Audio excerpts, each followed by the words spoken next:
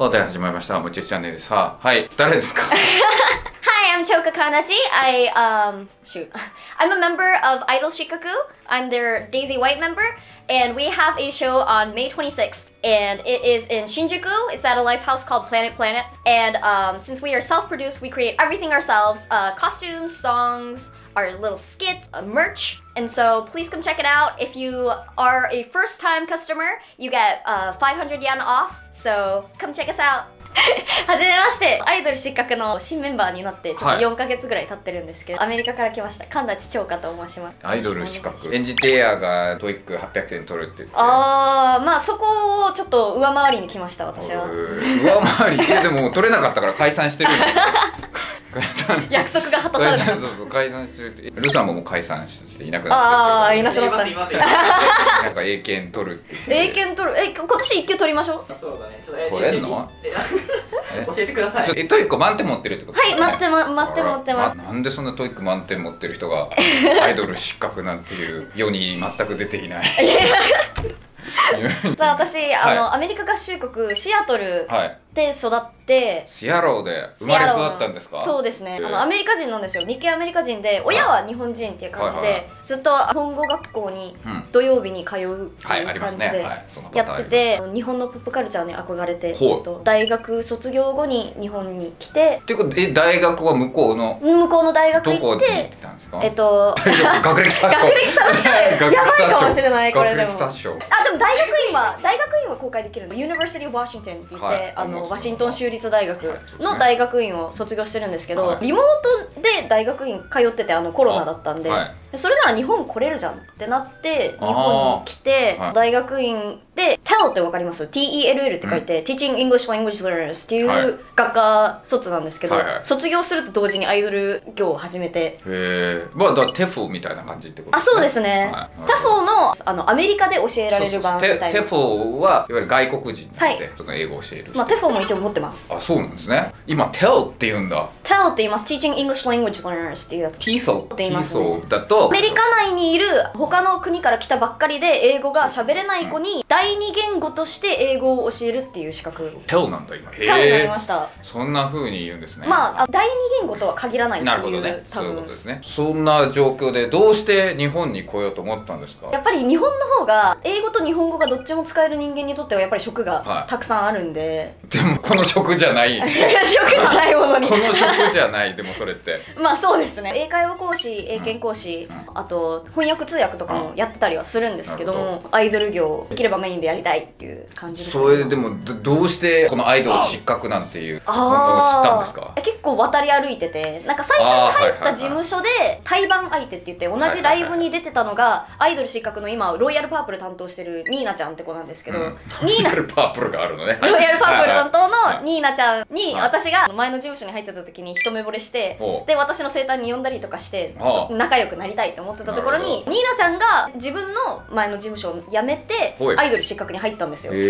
それをずっと私はツイッター上とかで見ててはそれでアイドル失格メンバー募集してるよっていう時うん。にちょうど私がその前の事務所のグループが解散してて新しいところを探してたので受けてみて。英語できる人みたいに言ってたから。まあそうですね。なんか第一印象がなんかすごい TOEIC 満点が強かったらしく。じゃあなんで TOEIC 取ろうと思ったんですかいらないじゃないですか。あ私あのアメリカ国籍とはいえど、はい。顔とあの喋り方がすごく日本人に近い。近いというかもう日本人ですよ、パッと見英語ができるっていうことが伝わらないかなと思って、帰国子女とか日系アメリカ人って言ってもうん。なんか英語のできる幅って割とあるじゃないですか。そうですね。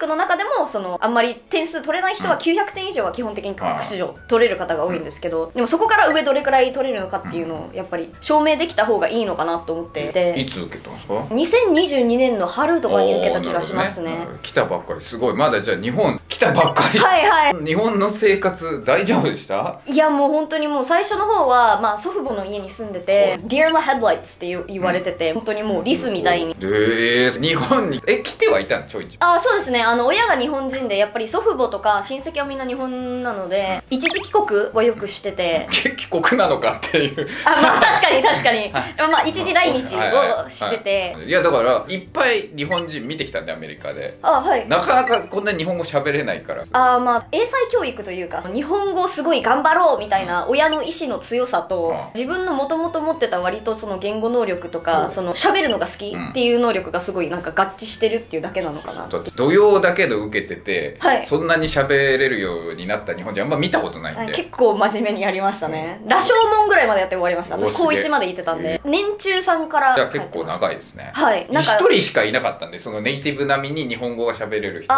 見たのが一人しかいなくてもう一人すごい発音うまかったんだけどやっぱり変だな、まあ、時々やっぱ喋ってて。やっぱりボロは出ますね。私もなんかちょっと言葉遣いが古かったりだとかあと知らない言葉がたくさんあったりとかすごいあるんですけど。ベンチプレスのやつでこう斜めになってるのこう上がり坂って言ったのね。あー上り坂ではなく。まあ上り坂とも言わないけどねこう斜めになってること。確かに全然ありますそういうことは私も。なんか妹とかが若干私より日本語力が低いというか若干片言に聞こえるというか日本で海の家でバイトをしてたことがあってその時妹はもう1日目で帰国子女だってもう全バレみたいな。あこの子外国から来た子なんだよねみたいな感じでえでももともとそのアイドルになろうと思ったきっかけはが妹なんですよきっかけが。妹？はい。もともと私音楽とかすごい好きでお。部活でなんかオーケストラ部でバイオリン弾いてたりとかあのバンドでベース弾いてたりとかしはて学生時代に。音楽続けたいなって思っててもともと j p o p すごい大好きだったんですけはいはい。どでバンドマンになれるほど楽器がすごい上手いわけでもほうほうほう。作詞作曲がたくさんできるわけでもなくそれでどうしようかな音楽やりたいなって悩んでたところにアイドルが大好きな妹が「チョカアイドルになりなよ」超かアイドル超りなかアイドルになってほしいみたいな。私はずっと AKB48 だとかハロプロとかをあなんかずっとその YouTube 動画だったりとかテレビとかで一生懸命アメリカから見ててこういうのに憧れがあるけど自分は見る方が好きっていう感じでせっかくなんか人前で歌ったりするのが好きならあアイドルになってほしい。向いてるよと言われえー、なんか ABK の人が K-POP アイドルになるみたいなエピソードいざアイドルやってみてどうだったはい。この日本の汚い世界。なんかもともとなんか全然向いてないなって言われることは多かったですね。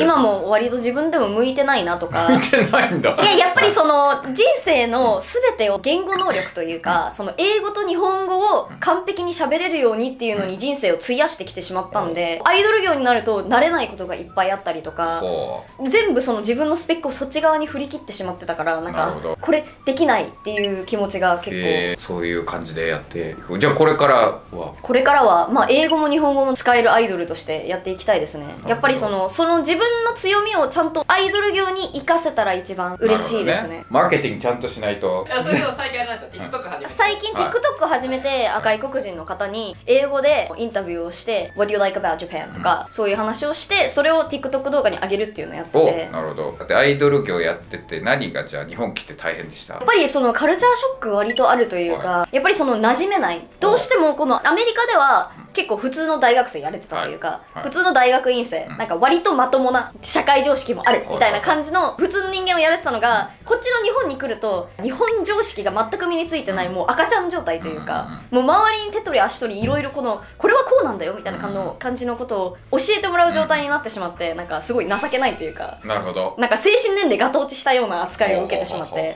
ああどうしよう私何も知らないっていうので結構、うん。うんなるほどね。そうですね。なんかどっちかに振るとは反対側が消えるみたいな、はいはいはい。なるほどね。ん？英語上手くなると若干日本語が下手になるとか、今とか結構生活の 90%95% ぐらい日本語でやってるんで、はいはい。そうなると日本語はすごい上達してきたと思うんですけど、英語がやっぱり出にくくなったりとかありますね。ねえー、でもそれでなんかエクザンポーないの？これでビビった日本。ああ日本電柱多くないですか？日本。そこ？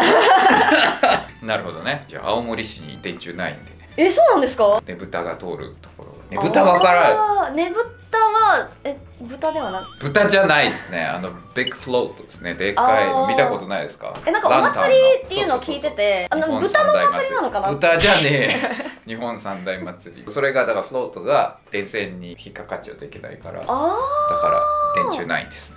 はい、そんなこととなくてなるほどね。電柱でびっくりすえるそうですね。電柱すごい多いなって。なんかアニメとかでよくその電柱にぶつかるみたいな演出あるじゃないですか。あれがえそんなにぶつからなくないと思ってきたのが日本に来たら電柱めっちゃあるわ。これはぶつかると思いました。えー、シアロでもそうか。ワシントンだからね。いえどっち海岸ですか？え西ですよ。あ西ですか？あそうだ。それもねちゃんと言うとかワシントン州って言ってねワシントン DC を思い浮かべる人がいっぱいいるあそうなんですよ。ね。反対側なんですよ、実者がとても多いところです。あとねあの無差別人もちょっと世界で一番多い場所となっておりまして。はい。まあ、よく天候がやっぱり悪いからってそうですね。言われますよね。ジメジメしてる。ちょっとイギリスとか行ったことがある人は多分それをイメージしていただければって感じなんですけど。雨がね多いんでそれで。あとシアトルといえば、えっと、マリナーズ。はい。イチローだとか岩隈選手がいたあのマリナーズとあとスタバの発祥地。そうですね。コーヒーとかラベンダーあとリンゴが有名です。でボーイングがあって。あボーイングえマイクロソフトねマイクロソフトアマゾンあとコストコの発祥地でもありますそうコストコって言うんだもんねコカスコカスコシアローそのバンクーバーにいた時にシアトルのニュース見てたんでずっとあーわかります CBS のやつ見てたんでしょっちゅうだからボーイングとアマゾンこのはいはいはい2つのニュースがめちゃくちゃ多い、あとあ任天堂のアメリカ本社もシアトルにありますじゃあ問題解かせればいいあどんとこいですよ。